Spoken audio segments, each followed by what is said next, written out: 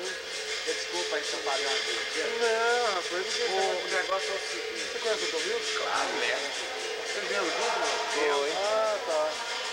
Foi o seguinte, teve um negócio ali que eu falei, foi o seguinte, que aquele tempo a Dilce da Bosa fez uma peça de teatro chamada é, Proíbe dos Capoeiros nos Tempos de Vice-Reis, tinha um grupo tal.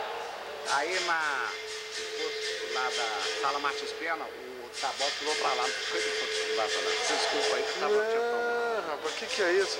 Mas, Rapaz, você sabe que passa tanto agora- na vida da gente que as besteiras que a gente diz, por maiores que sejam, sempre são não, pequenas. mas uma coisa eu falei, que a amiga do André não fala com o André perto dele. É. Tudo bom, rapaz? É é? Eu gostava de ver você jogar aqui. Qual é o André? na televisão. André. Ah, meu amigão. Uma vez saiu na televisão, esse tempo que você andou no caminho, eu, eu tava aqui em Brasília. Você, bom, Eu gostava que vocês, você sabe, é, cabeça de saber o que tá fazendo. Né? Camisa desce mais. Eu escutei. É, desce mais. Você também, que joga xadrez, pessoal. Para-